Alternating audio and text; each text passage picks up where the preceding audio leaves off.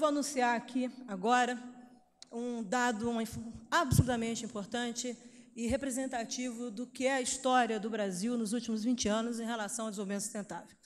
Eu tenho a honra de anunciar a menor taxa de desmatamento da Amazônia em toda a sua história.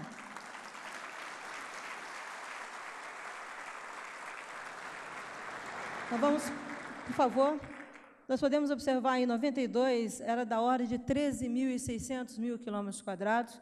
Nós tivemos um pico expressivo em 2004, com 27 mil quilômetros quadrados, e hoje, no trabalho feito pelo Ministério de Ciência, Tecnologia e Inovação e o INPE, consolidamos os dados em 6.418 quilômetros quadrados. É menos da metade de 92, menos de um terço do que foi a maior taxa em 2005, em 2004. Esse é o esforço de toda uma sociedade, de todo um governo, de toda uma equipe de funcionários, e aqui meus agradecimentos também à Polícia Federal, Ministro da Justiça, à Polícia Rodoviária Federal, uma nova cultura de combater o crime ambiental, incluindo e protegendo o meio ambiente. E eu faço aqui uma homenagem àqueles que lutam pelas florestas, que morreram em combates e conflitos ambientais na floresta, está aqui o resultado que valeu a pena. E nós vamos mais. Olha os dados. O Brasil já reduziu Steiner. Isso é uma coisa importante para o diretor das Nações Unidas de Meio Ambiente anunciar.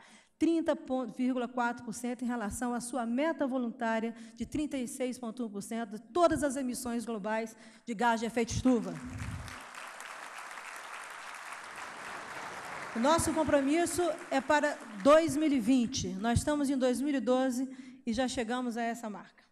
Presidenta, o seu primeiro ano de governo simboliza exatamente a menor taxa de desmatamento, próximo slide, e o Brasil já atingiu 67,14% das suas emissões, de um desmatamento esperado de 80%.